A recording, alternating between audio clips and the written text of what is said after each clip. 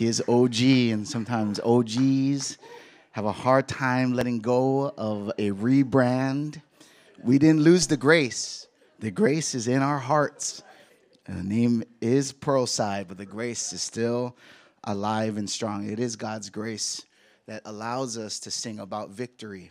It's His grace that allows us to be able to commune with a Heavenly Father that is relational and not distant, like on some moon planet a million miles away, that He wants to have a vibrant relationship with you. I'm so glad that you are here. I'm excited. Um, I'm, I'm blessed that we have moved to tier five. I have no idea what that even means, but that is closer and one step closer to ditching um, the life of the pandemic and moving forward. I believe that with God's grace and His power, who is the great physician, can truly crush any ailment, anything that would be considered a virus. Yes, we believe in science, accompanying that science is the great physician that really needs to eradicate this thing as we are moving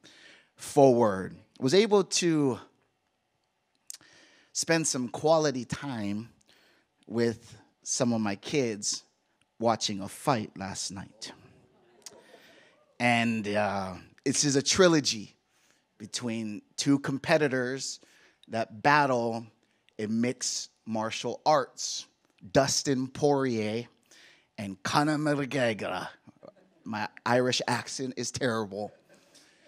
And uh, they started going, I saw some leg kicks.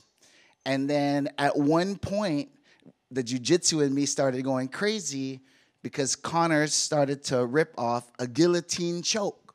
You put your arm over a neck, you cra- gla- cra- clasp your fingers, and you squeeze, anaconda squeeze, all that you can to get uh, that person to tap out.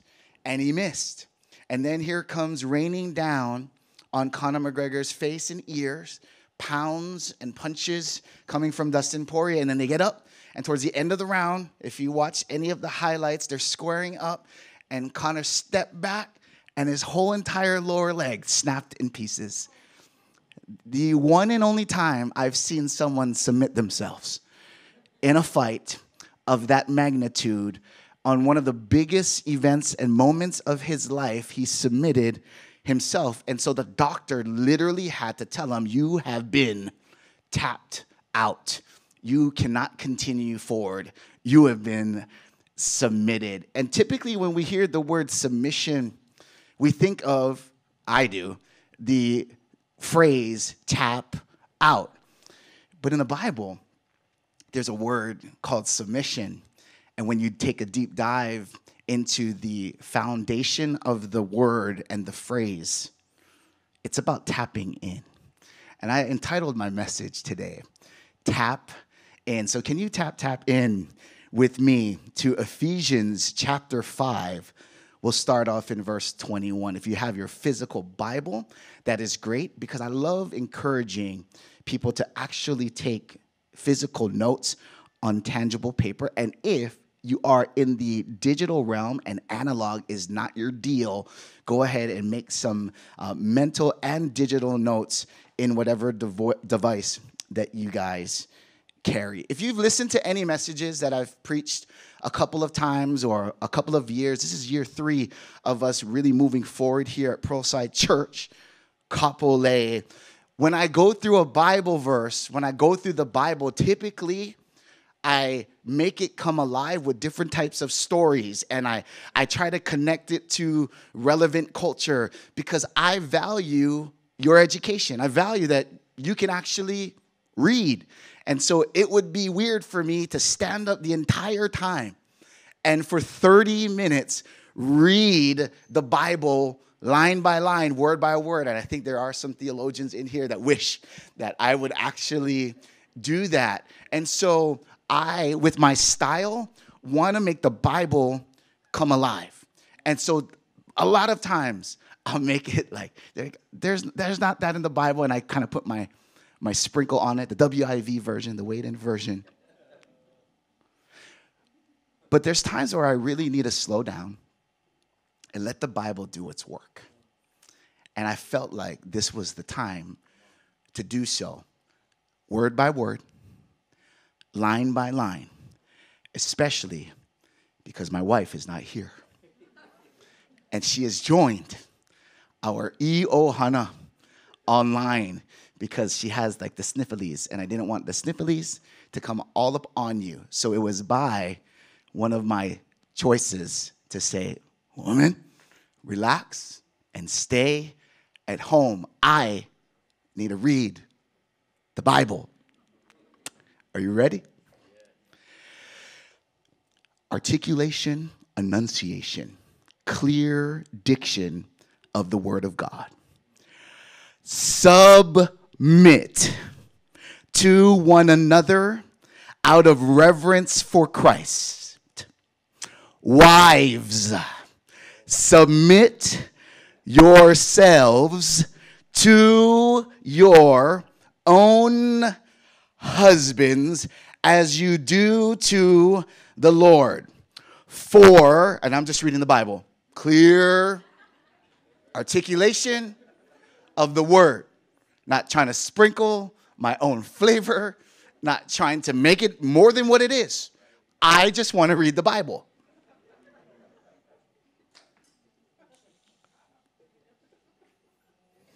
For the husband is the head of the wife. I feel the blood boiling here.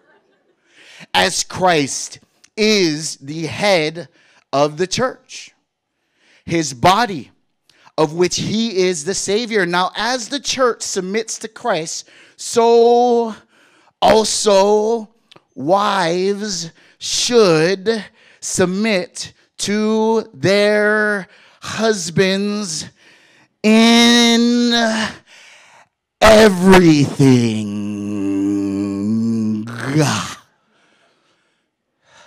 I didn't get a lot of male amens.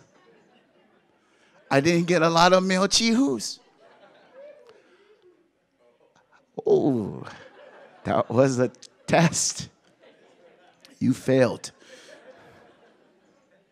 You are the head because she allows it. Father, all across this place, I thank you that you give us a picture on how it's supposed to be.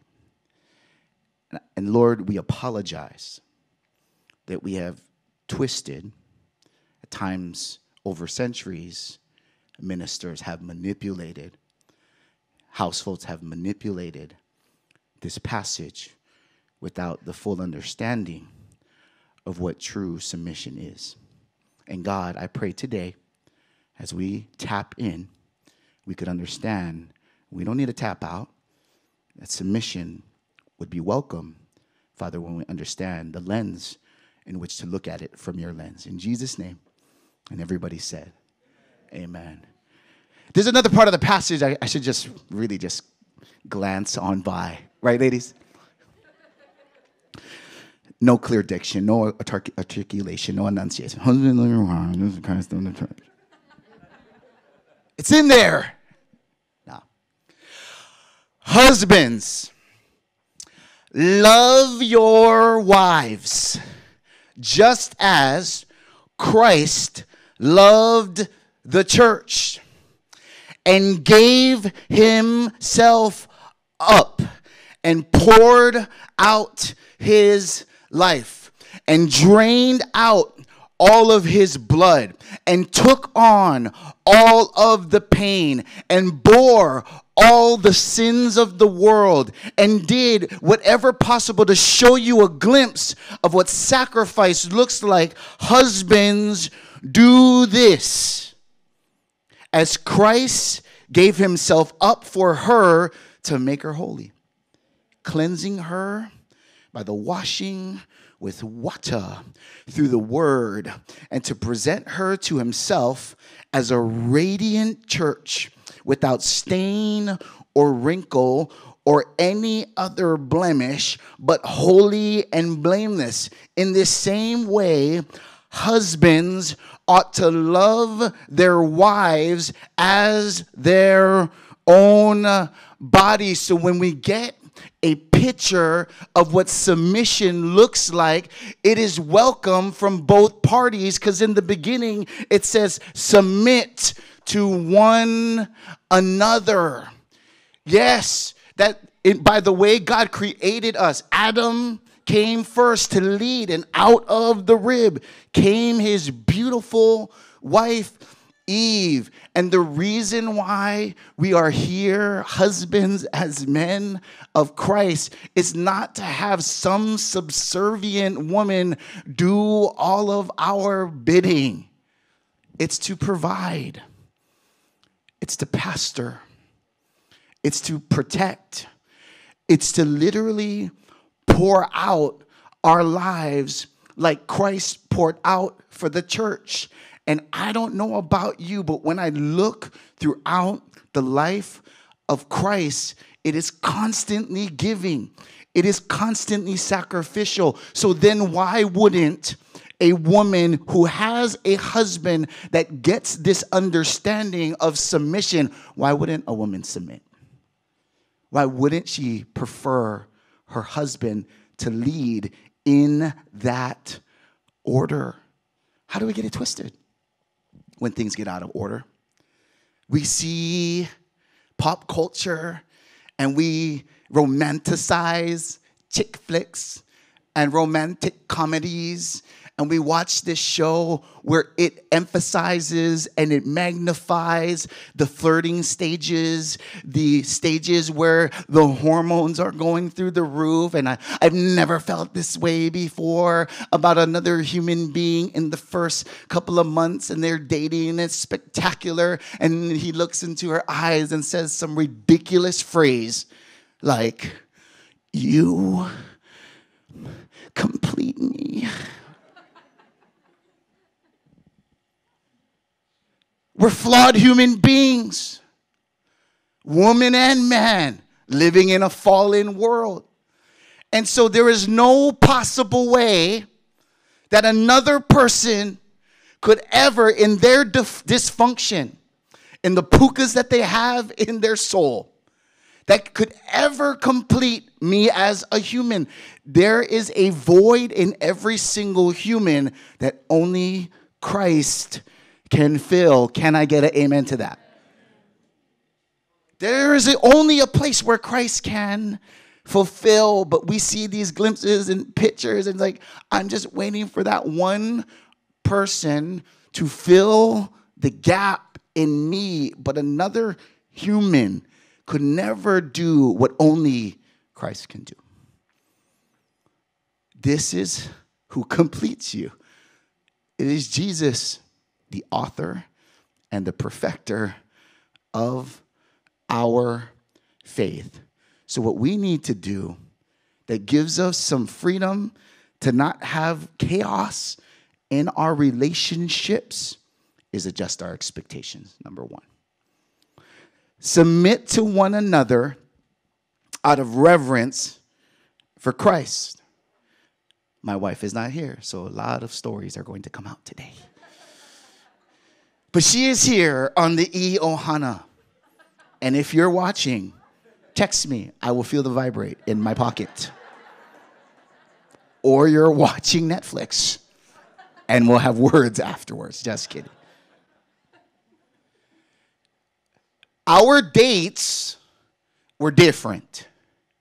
I met her when she had a two year old son. His name is Dylan. He just graduated and he thinks he's a grown man. That's another topic. I think that's next week. And so when we go on dates, it was hard for me to spit game at Chuck E. Cheese. Trying to holler at her with like pooping diapers and changing and smelling, all of that good stuff that happens and my expectation when I had dreamed in my early 20s of what my life would look like and what my wife would be like on my prayer journal, I did not journal that down. to be honest. TBH, like the young ones say. But then when God unveiled the blinders from my eyes, and I saw the gold in her heart. Not that I bypassed the reality that she has a child.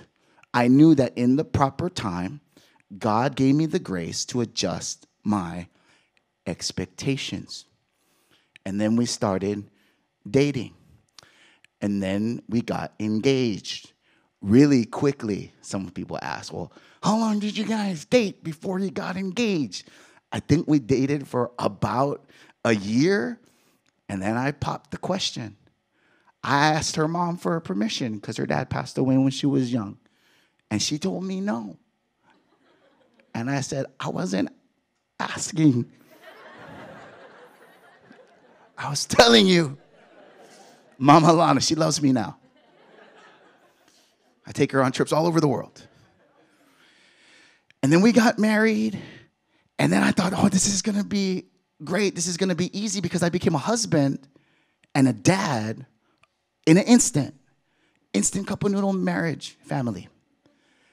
But the tension increased in the early years because our expectations were different.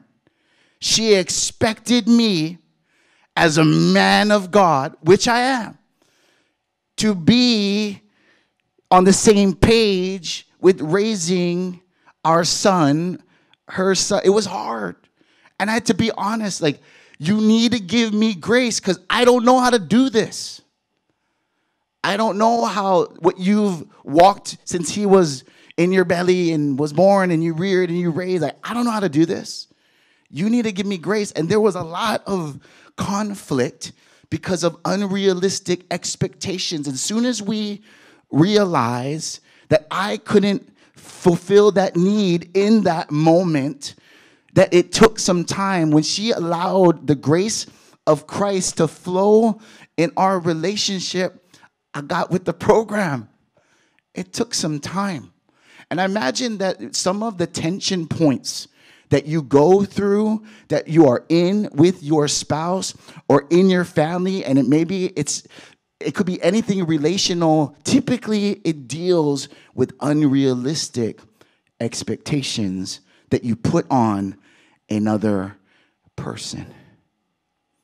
And when we look at them with the lens of Christ and how Christ sacrificially gave without expectation. I'm going to do this and you're going to do this. No, no, no, no, no, no. Jesus poured it out sacrificially and he gave of himself without that expectation. When we allow God to flow that way through us and we adjust our expectation, we can find peace, harmony, uh, harmony and balance. Point number 2. We need to empty our entitlement. It's going to be a good one. Giving up the right to be right. I am wired by nature to be black and white.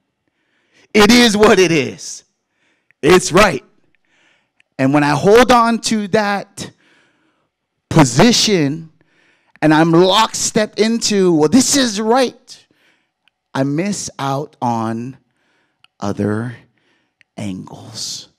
My wife, Ray, lives in the gray. And that's not a bad thing. She'll always say, Well, did you consider? I don't know why I just made her sound like an elderly lady. But she's not here. She's on Netflix, just kidding. She's on the Iohana. Have you considered that perhaps you might think that you're right, but what about feelings?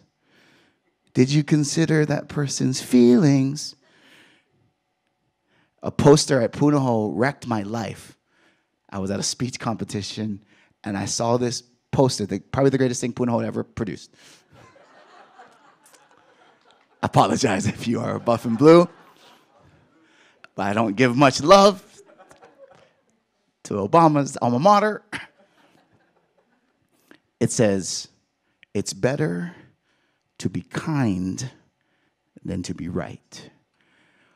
That thing tattooed my mind for so many years being a person that is fixated on this is true and this is not. This is black and this is white.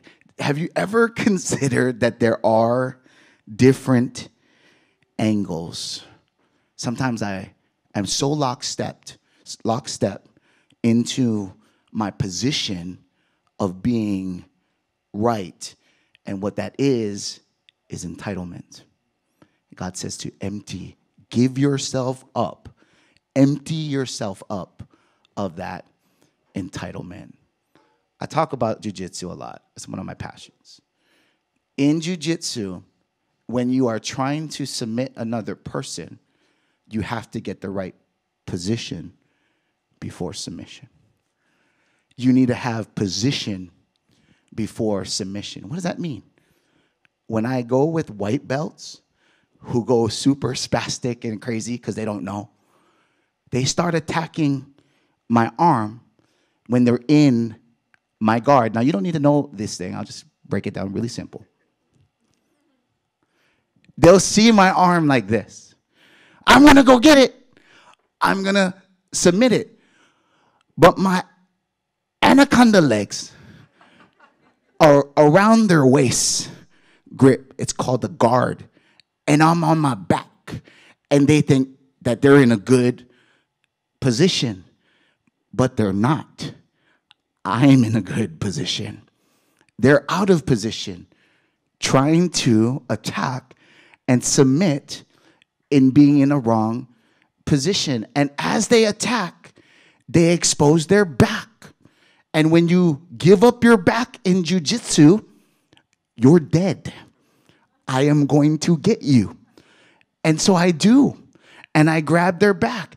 And then they get all frustrated and flustered because I thought I got you. And I say, Aiden, position before submission. I said that Aiden trains jujitsu. Position before submission. So when I am in this discussion, healthy discussions or f- fights with my beautiful, gorgeous, hot wife, and I'm coming from a position of being right, and then I'm saying stupid things like, submit, woman. This is how it is. I'm operating, acting out of position. So, how could I ever expect submission from my wife. Position before submission. Understand where you're standing. My position as a husband should be that of Christ, who gave himself up, who emptied his entitlement, who emptied his authority and power to death on the cross so that we could find life, so that we could experience how it's supposed to be. So when I get into the right position of humility and sacrifice, I can find a submissive wife. She'll find a submitted husband to Christ who doesn't have to rely on his right, his machismo, like, I'm the head of the household. This is my way. I said it. Father has spoken. That will only last so long. That will never build into a healthy relationship into the future. And then you're going to find your position alone. I want to be real right now. Because sometimes you can hold on to the wrong positions for the sake of being right, and then you're in the process of losing everything. Empty your entitlement. We'll end with this final point.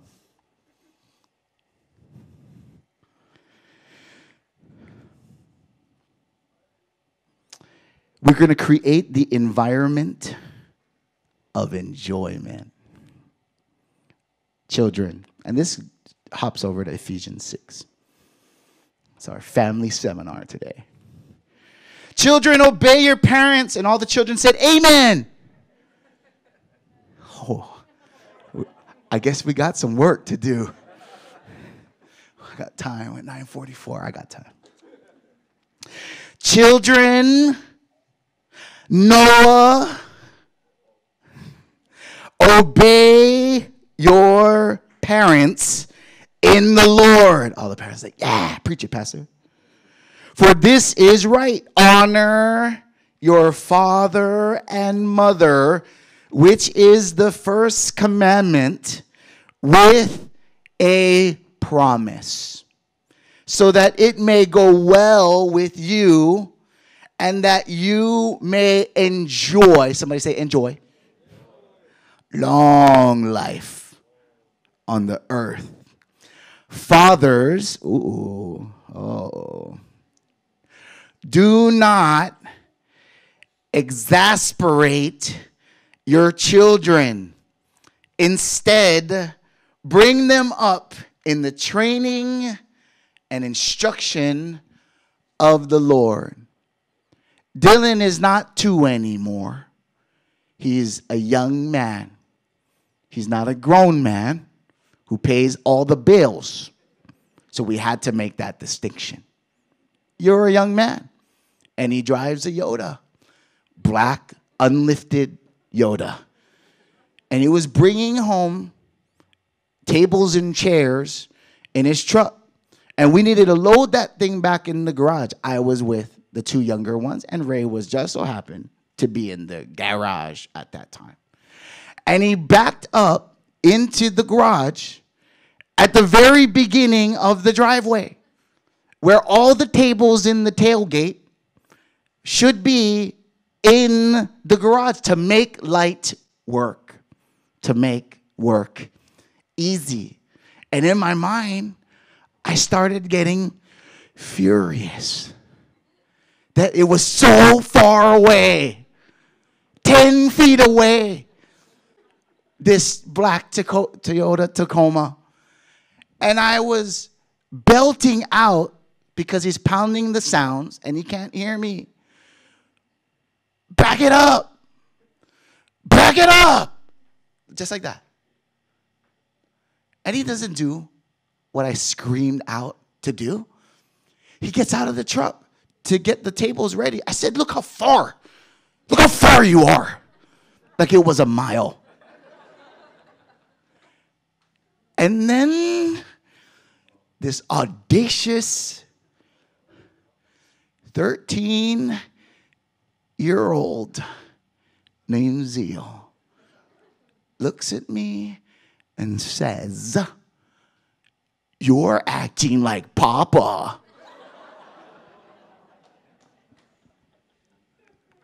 and I love my dad, but he got tendencies, impatient tendencies. And I vowed not to be so impatient as a grown man father. No, I'm not being like Papa. Then Ray chimes in. Yeah, Ray? Chiming in over there on the digital device. You are being like your father. I'm just trying to talk to him so he can hear me. He's so far. He goes back into the truck. It's a true story. I shared it at my small group. He backs up literally one more yard, extremely still far away. And then my frustration just turns into clapping.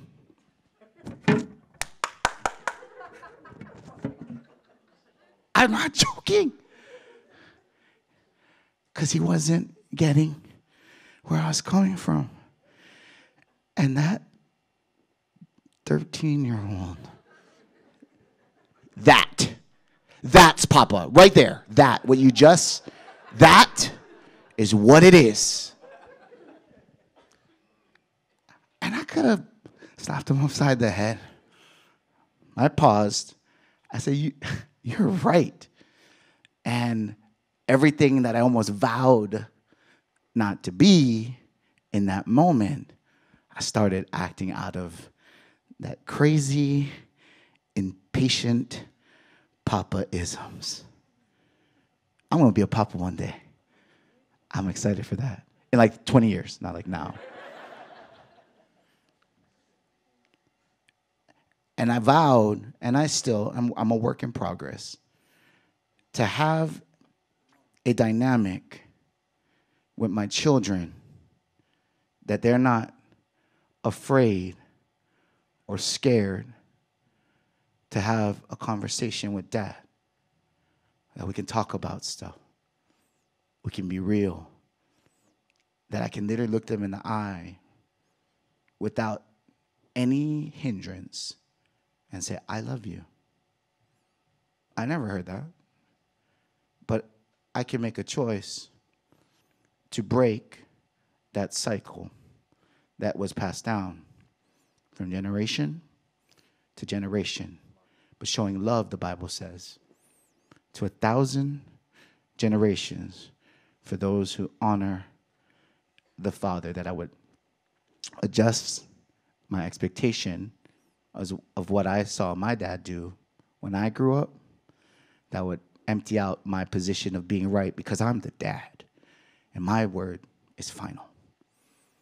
And then if I truly want to have an environment that I enjoy and that my family enjoys, then I need to adjust all of those position and take on the heart of the Father.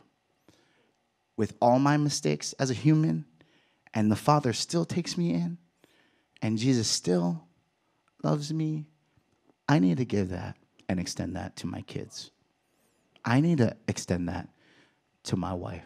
And as the worship team makes their way to come up to the front, I pray that you would posture your hearts right now in a position to receive, to receive some grace, because I feel like there are some blockages within the family unit that is here today. Mine is not imperfect. I shared our flaws. I was transparent today. I pray that you would be transparent before the Lord in this time. Father,